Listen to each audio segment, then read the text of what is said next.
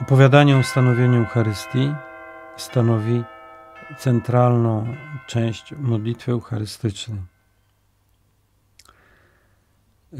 Same słowa konsekracji są mm, identyczne we wszystkich modlitwach eucharystycznych,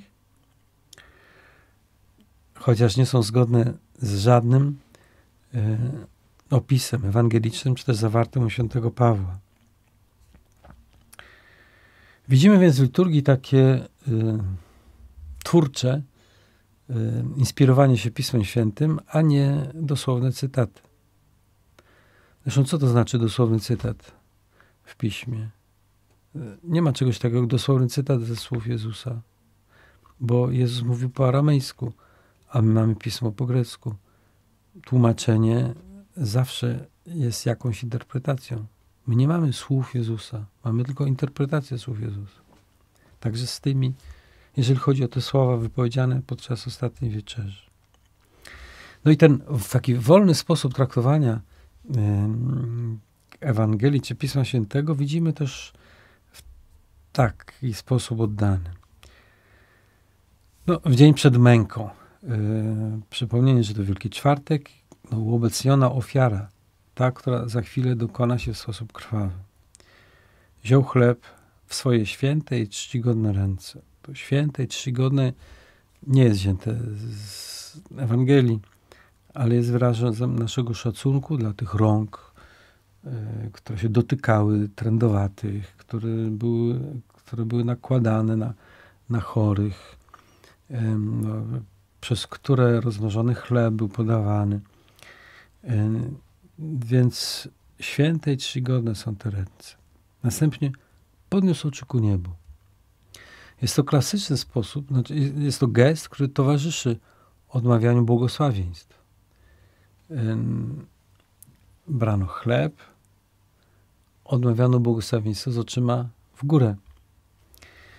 W opisie ustanowienia Eucharystii, w opisie z ostatniej wieczerzy nie ma takiej wzmianki.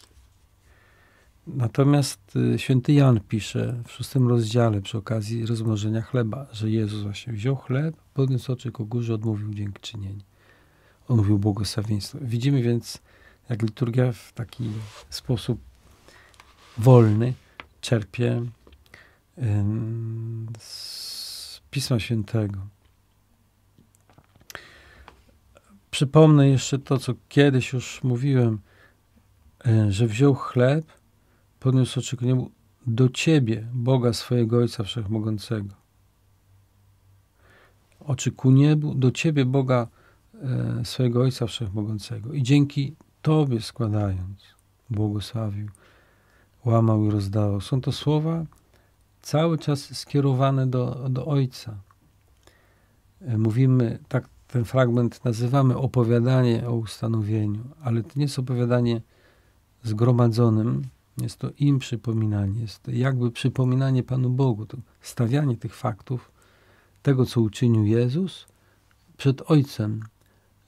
No bo to czyńcie na moją pamiątkę. Ta pamiątka ma sens, o ile e, w Bogu ta pamięć trwa o tym wydarzeniu. O ile w Bogu trwa to wydarzenie. Właśnie to, że nie tylko połamał i rozdał, ale że umarł, zmartwychwstał. Przede wszystkim to, że możemy zawrzeć w znakach to, co w Bogu trwa. Ofiara jest żywa, y, obecna. Możemy mszę, nazwać, mszę świętą nazwać ofiarą, dlatego, że, y, że to wydanie trwa. Ono się nie dokonało tylko raz na moment, ale raz na zawsze.